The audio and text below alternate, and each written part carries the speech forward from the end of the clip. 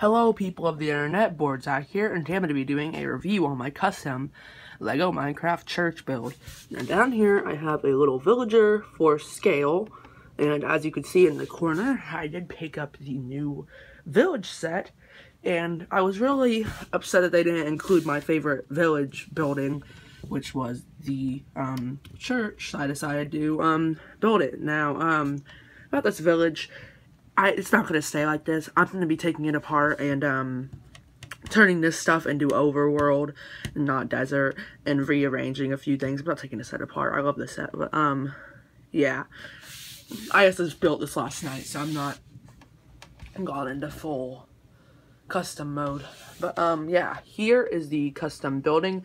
Now I realize it should probably be dark gray, but I did not think of that at the time. And um, yeah, so starting down here, we have a door. This is, I built this, um, I got, I actually built this before I got this set over there.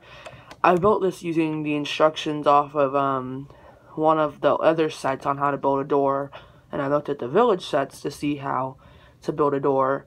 And I wanted this to fit in with the village sets. And then there's windows up there. I wanted to make this look semi-realistic. Now, as you can see, it is starting to move, and that is because it actually comes open. I wanted it to feel as much like a real Lego Minecraft set as possible. Now, this inside, it has to be my least favorite part, just because there's a few stairs in there. And, um, it's okay, though.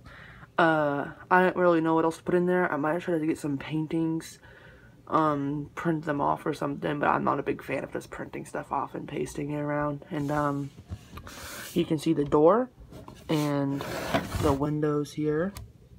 They look pretty nice if you ask me. I wish I could have used on these windows. I wish I could have used the um, pieces that the village used on their windows, the too tall, because it makes it look a lot more like a window than a studded, studded window with the pieces inside, but that's okay and um, the, the roof is removable, not um, too easily, but it comes off in case you want to get inside, because I did actually make it where it's supposed to come off, and I put a few studs and then smooth tiles around, because I want it to be easy to get in there and place your figures in there, so, um, yeah, that's all I have for the inside. And then nothing happens up on the top. I know there's a ladder and stuff that leads up to that, and I wanted to build that in, but I was already done when I figured that out. And I wasn't thinking when I built it, and I didn't want to rebuild it.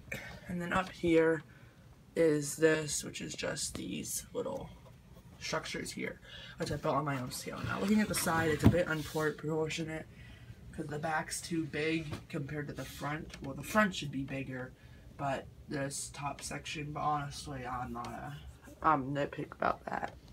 So, um, yeah, this has been quite a short video, but this is my custom LEGO Minecraft church. Now, I'm going to be working on a stop motion series with these villagers. Now, I don't want to reveal it. This is not my real video, so I cannot tell you all about that yet.